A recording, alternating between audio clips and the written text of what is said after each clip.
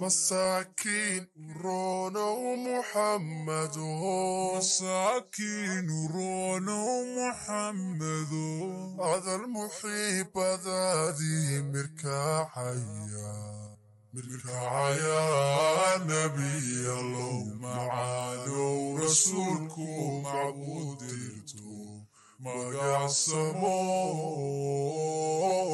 macallinkii adduunkee ilaa muslimka madaxuga dhigo. Siirihii nebigaan ku ballansanayn sala allahu calayhi wasalam nebi moxamed ilaahay wuxuu u soo saaray inuu noqdo qudwatan lilcaalamiin. Adduunka dhan inuu noqdo hoggaan lagu daydo rabadaan kariim dhammaan walaalaha ku xidhan kanaalka daarul khayr insha allahu tacaala. Waxaynu bilaabi doonaa muuqaalo taxane ah muuqaalo taxane ah kuwa oo bixi doona bisha rabadaan oo lagaga sheekayn doono sifooyinkii cajiibka ahaa ee uu lahaa nebigeena moxamed naxariisi nabadguli korkiisa ha ahaatee. Anigu waxaan u arkaa nebigeenna calayhi salaatu wasalaam marka aan sifaynayo kaana bayna annaasi dadka markuu dhex joogo nebigu calayhi salaatu wasalaam wuxuu ahaa asadan libaax. Wa kaana bayna alusuud markuu libaaxyada hor joogana wuxuu ahaa nebi. Wa kaana min bayni alambiyaa markuu nebiyada dhex joogana wa kaana min bayni ulilcasmina wuxuu ahaa afdaluhum wa khaatamahum. Ka ugu fadli badan laguna gebagabeeye buu ahaa. Nebigeena maxamed naxariis iyo nabadgeli korkiisa ha ahaatee maxay ka yidhaahdeen dadka aan muslimka ahayn ee ay ka qoreen dadka aqoon-yahanka ah ee adduunka maanta jaamicadaha ugu waaweyn dhiga waxay u kala baxeen markay nebiga diraaseeyeen kitaab waxaa la dhahdo asiira nabawiya walmustashriquun. Mustashriqiintu waa raggani gaalada ah ee diraasaad adag ku sameeya islaamka. Waxaa u yidhi ninka dhahdo world durant oo maraykan ah oo mucaasir ah kitaabka qisatu alxadaara ninka qoray weeyaan kitaab kalena uu leeyahay qisatu alfalsafa wuxuu yidhi nebi moxamed dadka wax hogaamiyey ninka ugu adag weeye siyaasi buu ahaa. Weliba aad siyaasadda u yaqaana. Wuxuuna ahaa nin jacaylka ku dhammeeya dagaalka. Nabaddana ka doorta dagaalka. Wuxuu yidhi maan arag taariikhda bini aadamka qof ku xakumay xoololaydu inay lacag bixiyaan oo ay siiyaan fuqarada. Oo weliba aanan ahayn maaragtay cashuurta dowladdu ay qaadato ay tahay wax ay dadka fuqaradu xaq ay leeyihiin waa qofkii ugu horreeyey ee u soo baxa inuu fuqarada ehel u noqdo. Kana maaragtay hor jeesto inay xooluhu ku ururaan afar qof oo quraate. Rodenson ninka la dhahdo oo jaamicadda baris ka dhiga. Kitaabyo badanna ka qoray dhaqanka islaamka iyo carabta. Wuxuu yidhi sal slam nabigeena wuxuu ku tilmaamay inuu yahay ninkii ugu weynaa ee taariikhda bini aadanka soo mara. George sarton waa caalim beljikiya oo ku takhasusay culumta abiiciga ah wuxuu yidhi taariikhdu ma arag qof guulaystay guul wada cad siduu u guulaystay nebi muxamed sal amaa bacdu axibat alislaam assalaamu calaykum waraxmat ullah waxaan ka hadli doonaa in sha allahu tacaala kitaabkii amba ku saabsanaa siiraha rasuulkeennii sala allahu calayhi wasalam oo ku saabsan nebiga inaan isla taagno siirihiisa waqafaad la joogsooyin aan la samayno hadduu ilaahay yidhaahdo ummadda islaamka waxaa haysta ilaa iyo toddoba amba sideed cudur jiro oo u baahan in xal loo helo. Waxaana xalkaa ka doodooni doonaa siiraha nebiga calayhi salaatu wasalaam. Mushkiladda ugu weyn ee ummadda islaamka haysata waxa weeyaan alcataala. Waa ummad cadilan dhinaca fikirka dhinaca dhaqaalaha dhinaca siyaasadda dhinaca diinta dhinaca nolosha dhinaca midnimada dhinaca dhaqanka iyo dhaqaalaha waxay ku sugan yihiin wax loo yaqaano alcataala. Waa ummad cadilan weeye markaa sidee baan uga saarnaa cadalaadaas waa problem weyn oo haysta weyaan arinta labaad alicyaau watacab waa ummad aad u muuqatay inay daashay. Oo ay ka daashay madax daalima ay ka daashay fikir gaboobay ay ka daashay siyaasad aan bislayn ay ka daashay diin laysku haysto ay ka daashay dhaqaalo xumi iyo faqri iyo gaajo ay ka daashay maaragtay isticmaar. Waxaa markaa ummaddu amraadda haysta waxaa ka mid a alicyaau watacab maradka saddexaad ee ummadda islaamka haysta waxa weeye assukuun. Waa ummad istaagtay wey istaatiik baa ku dhacday. Istaatiikoon way joogsatay. Xarakiyadii ka joogsatay.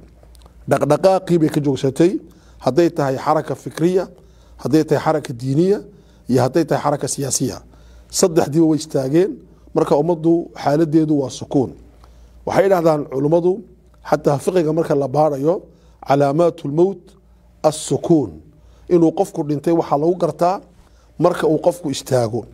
Marka istaag baa jira. Arintaasina waa muhiim inaan garanno maradka afaraad ee ummadda haysta waxa weeye alkasal alfikri ummaddu waxay ka caajistay inay afkaar cusub samayso. Marka waxaa ku dhacday kasal fikri ah kasalka ugu xunna waxa weeyaan waa ka ku dhaca maskaxda weeyaan. Maskaxdu hadday saddex arrimood samayn weydo dhibaato weyn baa haystaa hadday samayn weydo waxa loo yaqaano alibdaac inay wax curiso. Amba hadday samayn weydo ummadda islaamkii dhinaca maskaxda ay ka samayn weydo alintaaj production. Arrinta saddexaad hadday samayn kari weydo wixii jiray inay tajdiidiso ay cusboonaysiiso. Hadday ku guuleysan kari weydo ummadda islaamka ah wax ama bini aadanka ama ummadaasi waa jira ayaa haysataa marka waxaa jira kasal fikriya. Arinta shanaad ee ummadda islaamka haysata waxaa ka mid a alcajzu lijtimaaci ummadda islaamka waxaa haysta waxa loo yaqaano cajzi xadiiskii rasuulka waad garanaysiin allaahuma inii acuudu bika min alcajzi walkasali.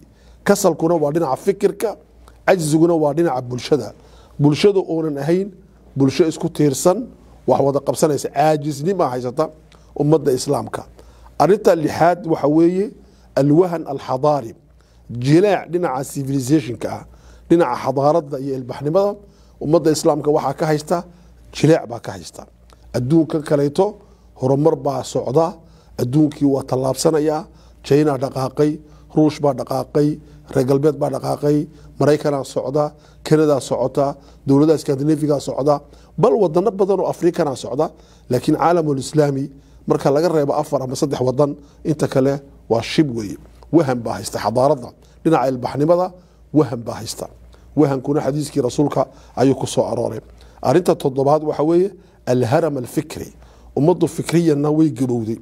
Ummaddeena waxaad moodaa inay gabowday. Ugu dambeynta waxaa jira marad la yidhaahdo shaykhuukha waa haramkii dhinaca fikriga waxaa dhacay dhinaca siyaasaadkana shaykhuukha ayaa ka dhacday. Bal marka qaarkood ikhwaanii fillaah waxaas oo dhan waxaan xal uga doondooni doonaa siiraha nebiga calayhi salaatu wasalaam. Siiraha nebigu wuxuu kala baxaa saddex. Waxaa la diraasayaa maa qabla miilaadi rasuul. Intuu nebigu dhalan adduunku suu ekaa gaar ahaan shantii boqol ee sane ugu dambaysay nebi ciise iyo markuu nebigeenu soo baxayay inta u dhaxaysay adduunku suu ekaa diraaso weyn baa lagu sameeyaa. Marka labaad waxaa la diraaseeyaa marxalada labaad oo ah markuu nebigu soo baxay ilaa inta uu madiino tegay ka hijroonayay marka aba min miilaadihi ilaa hijratihi.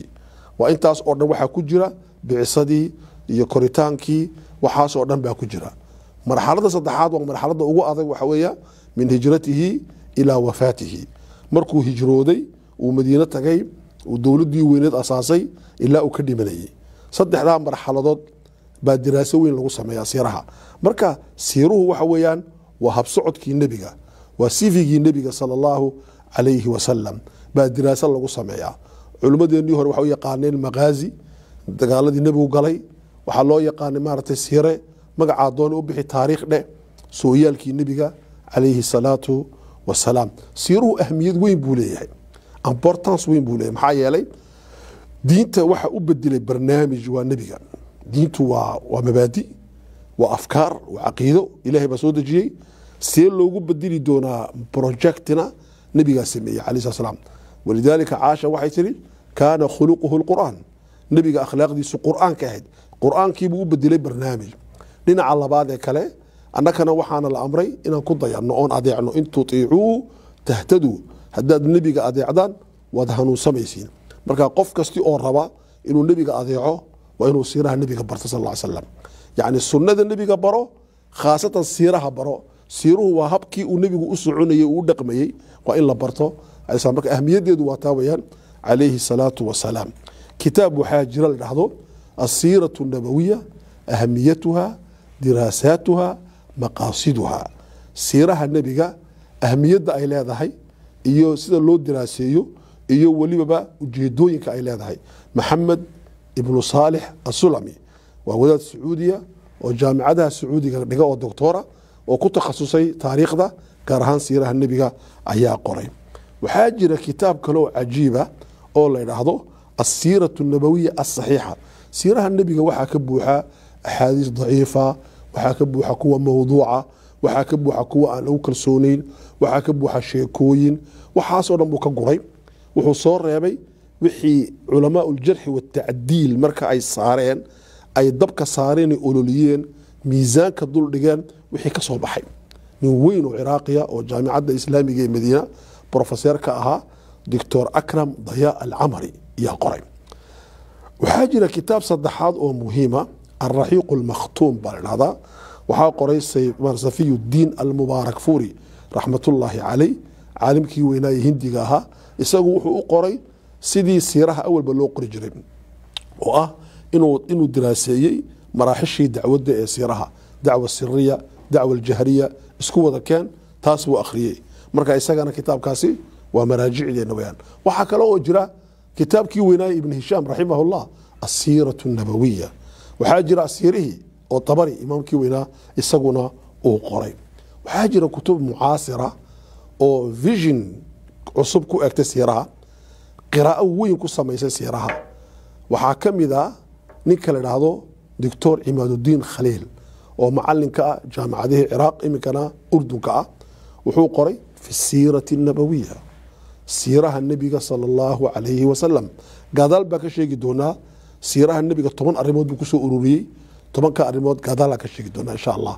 Waxaa kale oo ka mid a kitaab la yidhaahdo almanhaj alxaraki lisiirati nabawiya sideebuu nebigu u dhaqdhaqaaqi jiray? Dhinaca xarakadu ka egay movemaga nebigu dhaqaalaha suu u sameeyey. Waa arki doona marka qiyaadadan ka hadlayno siduu u difaacay diintiisa. Waxaan arki doonaa markaan ka hadli doono difaaca rasuulka siduu ilaahay u caabudayey. Xarakinimadiisii guurkiisii dhaqdhaqaaqiisii manhajkiisii xarakiga ahaa qabaaisha suu ula dhaqmeeyey siduu qabyaalada u ilaaliyey qabaalistigana uu baabi'iyey siduu dowlad ugu dhisay dad qabyaalad ku saqaynayey oo sida soomaalida oo kale ah. Waxaas oo dhan baan arki doonaa nabigeena calayhi salaatu wasalaam. Weliba waxaan isduldhigi doonaa wax weeyaan soomaali ahaan iyo geeska afrika ahaan iyo reer jabuuti ahaan iyo reer maaragtay gobolka shanaad dadkeena af soomaali ku hadlaya. Maxaan ka faaideysan karnaa nebiga sal slam siirihiisa waan u baahi badan nahay marxaladan aan soconno. Kitaabkaabaan akhri doonaa. Waxaa jira kitaab uu qoray saciid ramadaan albuuti raximahullah oo la dhahdo fiqhu siira. Siiraha fiqiga maxaa laga axkaamta siiraha ku jirta. Yuu kitaab ka qoray cadiima. Dad fara badan baa saciid ramadaan buudi ka soo horjeeda laakiin wuxuu ku fiican yahay waa fiican yahay weeye. Sheekhu isaga oo maaragtay dowlad dhaalima raacay buu haddana isagu ahaa nin taqiya oo iimaan badan dhinac kale ka ahaa. Waa la yaqaanaa nin baa maalin dhoweyta ku sameeyey reer kanada ah diraaso cilmiga ku sameeyey buuti raximahullah wuxuu ihi kayfa jamaca bayna alistinaadi ila adulmi waataqwa inuu qof taqi ahaa oo rabbaani ah iyo haddana inuu daalim la jiray sidee buu u jamcin karay? Arrintaas wuxuu ku sameeyey diraaso u baahan inay dhalinyarada muslimiintu ay bartaan. Waxaa kaloo jira fiqhu siira maxamed khazaliya isagu wuxuu ku qoray kitaabkiisa meel la yidhaahdo alrawdatu shariifa oo maaragtay rasuulka sal slama madiine dhexdeeda khaasatan miskiidka gaar ahaan rawdada ayuu fadhiisan jiray. Markaasuu bacsilaat alfajri bilaabi jiray ilaa iyo duxada ayuu kitaabka qori jiray. Marka kitaabka nuur baa ku dhex jira kutusaya meesha uu fadhiyey iyo siduu ula dhaqmayey. Marka kitaabkaasina waa muhiim. Marka insha allah waxaan akhrin doonaa muqadimadii weyaan maanta waxaan ku jirno waxa weyaan waxaan baran doonaa toban arrimood. Kow waxaan baran doonaa nebiga dhinaca cibaadada alinsaan arabbaani waxaan baran doonaa nebiga dhinaca guurka oo faamiliga soo u sameeyey. Waxaan baran doonaa nebigoo hogaamiyaa nebigoo qaa'ida hadday tahay qaa'id diini iyo qaa'id siyaasi iyo qaa'id ijtimaaci iyo qaa'id fikri qaa'id dacwi intaba hogaannimadiisa leadershipnisa ayaan baran doonaa. Waxaan baran doonaa nebigoo istraatiiji ah oo dejinaya mustaqbalka. Dhigdhigaya siduu dhigdhigayo siduu xisaabinayo yaan baran doonaa waxyaala duruus cusub baan baran doonaa insha allah. Waxaan baran doonaa nebiga oo daaciya sala allahu calayhi wasalam siduu dadka dacwadda ugu yeedhayey muxuu horreysiinayey muxuu dib u dhigayey siduu dadka u bislaynayey yaan baran doonaa waxaan baran doonaa nebigaoo muslixa oo dadka soobinaya bulshada dhisaya hagaajinaya eegaya waxa loo baahan yahay ayaan baran doonaa waxaan baran doonaa nebiga oo murabi ah nebiga oo ah oo ummadii tarbiyadeynaya dhalinyaradii tarbiyadeynaya mujtamacii tarbiyadeynaya ayaan dhankaan baran doonaa. Waxyaabka baran doonaa nebigoo mufti ah nebiga sal mufti ah oo su'aalo la weydiinayo oo ka jawaabaya fatwadii baan ka baran doonaa. Waxaan baran doonaa nebigoo calaaqaadkii sameynaya bulshada muhandisu cilaaqaat alijtimaaciya dhisaya ayaan baran doonaa. Waxaan baran doonaa nebigoo dhisaya madrasadii akhlaaqda calayhi salaatu wasalaam laqad kaana lakum fii rasuuli illaahi uswatun xasana. Nebiga ilaahay waxaa iniigu sugan kudayasho wanaagsan calayhi salaatu wasalaam walaalayaal. Nebigeennu ilaahay baa ammaanay oo ku ammaanay ammaan uu nebi kale ku ammaanin. Wa inaka la khuluqin cadiim. Ilaahay baa ku yidhi akhlaaqda ugu sarraysaad haysataa ugu weyn.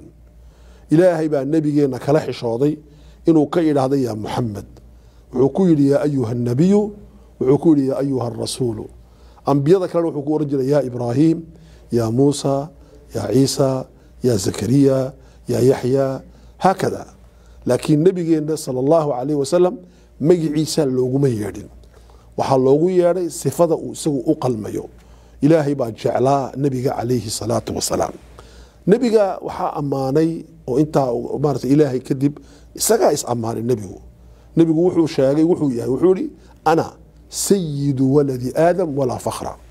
Aadam iyo wuxuu dhalayba anaa u sayida. Faanna igama aha xaqiiqada nebiga sal ly slam siduu isku ammaanay uu meeshuu isdhigay wuu isdhigay laakiin wuxuu haddana oran jiray siday u ammaaneen yahuudda iyo nasaaradu ambiyadooda aniga hay ammaanina.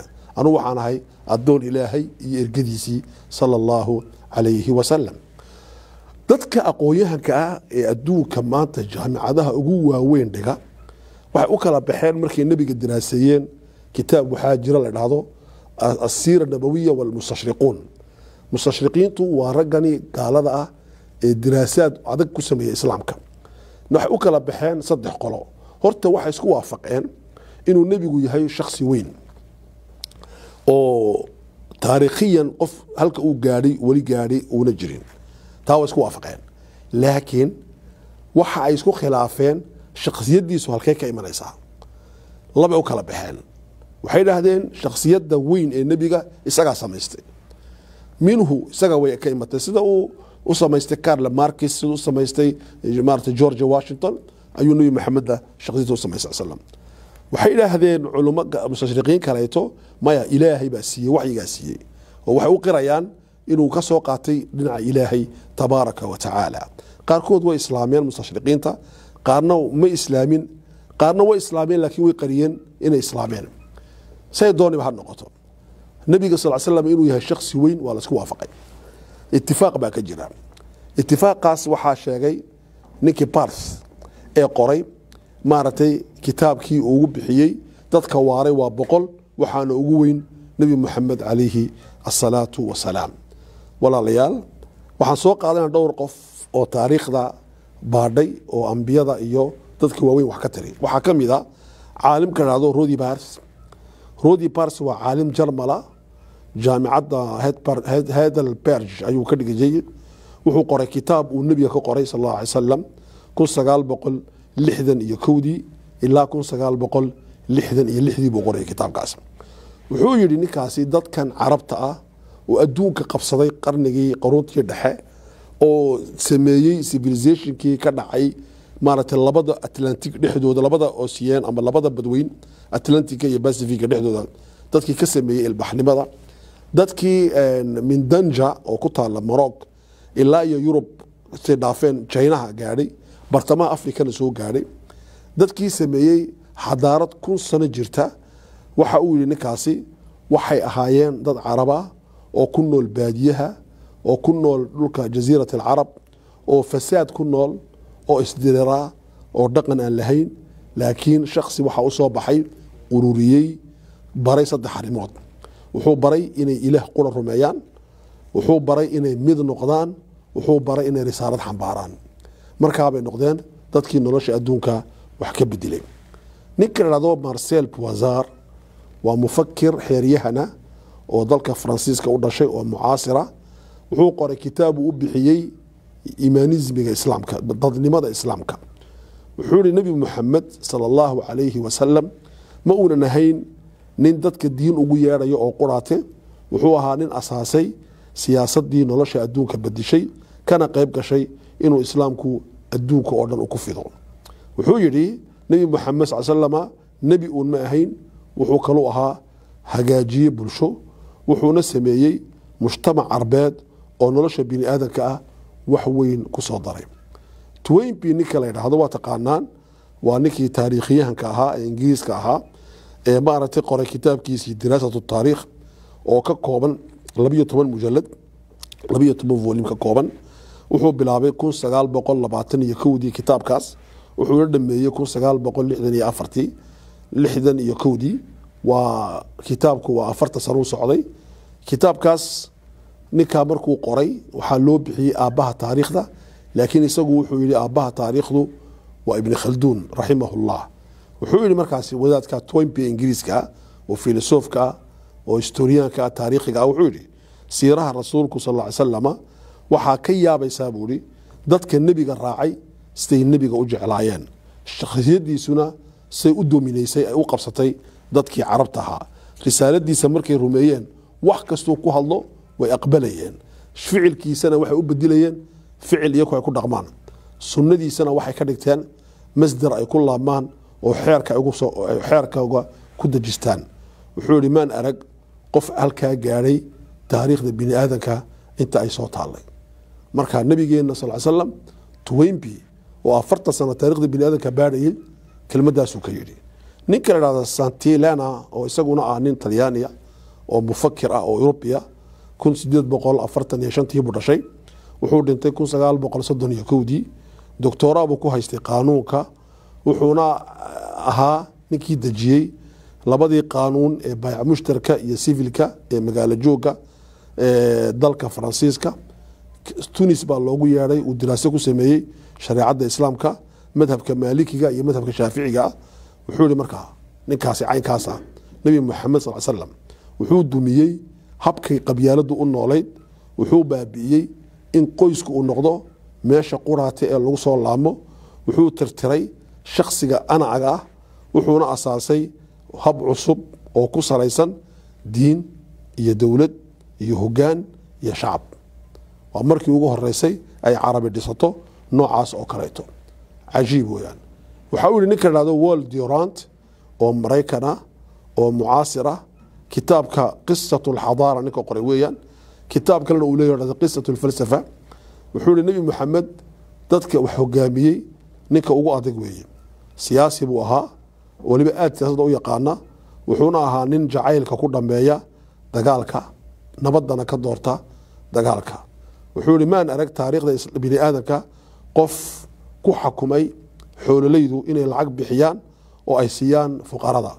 Oo weliba aanan ahayn maaragtay cashuurta dowladdu ay qaadato ay tahay wax ay dadka fuqaradu xaq ay leeyihiin. Waa qofkii ugu horeeyey ee u soo baxa inuu fuqarada ehel u noqdo kana maarata horjeesto inay xooluhu ku ururaan afar qof oo quraate. Rodenson ninka la dhaahdo oo jaamicadda baris ka dhiga kitaabyo badanna ka qoray dhaqanka islaamka iyo carabta wuxuu yihi sal slam nabigeena wuxuu ku tilmaamay inuu yahay ninkii ugu weynaa ee taariikhda bini aadanka soo mara. George sarton waa caalim beljikiya oo ku takhasusay culumta abiiciga ah. Wuxuu yihi taariikhdu ma arag qof guuleystay guul wada cad siduu u guuleystay nebi muxamed sal slam jolteser ninkii ahaa filosofka ahaa ee mustashriq ahaa ee luqaadka aadka u yaqaanay saamiga oo carabtu ay ka mid tahay kitaabkiisi alcaqiida washariica oo wax badan oo kharaaba uu ku jiro wuxuu yihi nebigu wuxuu ahaa nin adeegsada calayhi salaatu wasalaam xinka siyaasad fikrad ku salaysan vision daqiiqa oo dheer aragti caalami ah oo marka uu ka hortagayo kuwa ka soo horjeeda wuxuu ku qancin jiray caqli marka qaarkoodna seef. Wuxuuna isticmaalayay caqligana meeshiisa seeftana meesheeda. Arintaa waxaa la dhahdaa buuri xikmad. Marka wuxuu ahaa buuri nin xakiima. Ikhwaani fillaah waxaan kaga baxayaa maanta muxaadaradeeda. Amba kelmadeedan muqadimada ah. Ninka ay nii sheegay ee doctor cimaadudiin khaliil la idhaahdo waa mufakir u dhashay wadanka ciraaq. Kutubtiisa in la akhriyaa fiican. In la bartana way fiican tahay. Dadka afka carabiga ku yaqaana. Ingilishna waa lagu turjumay. Kutubtiisa waa in la baadho. Cimaad addiin alkhaliil baa dhahdaa waa waxaa lagu tilmaamaa ibni khalduuga qarnigan waa nin wax badan taariikhda fasira. Wuxuu yihi markaan taariikhda nebiga dabagalay waxaan ku soo koobay tobankan arrimood. Kow nebigu wuxuu siday towxiid wuxuu la dagaalamayay shirki. Nebigu wuxuu siday midnimo wuxuu la dagaalamayay kala tag nebigu wuxuu siday dowlad wuxuu la dagaalamayay qabyaalad. Nebigu wuxuu siday xeer dejin wuxuu la dagaalamayay dhaqan. Nebigu wuxuu siday muasasad institution nolol ah wuxuu la dagaalamayey nolol ku salaysan taqaaliid qabaa'il haysata nebigu wuxuu siday ummad wuxuu la dagaalamaya reero. Nebigu wuxuu siday manhaj wuxuu la dagaalamaya fawda iyo khuraafad. Nebigu wuxuu siday islaax reform hagaajin camiraad wuxuu la dagaalamaya kharaabis dictator iyo fasaad. Nebigu wuxuu siday aqoon wuxuu ka horjeeday jahliga iyo umiyadda nebigu wuxuu siday insaan muslima oo ka soo horjeeda insaanka jaahiliga. Walaalayaal siiraha baan dhigan doonaa insha allah. Waa toban xalaqo.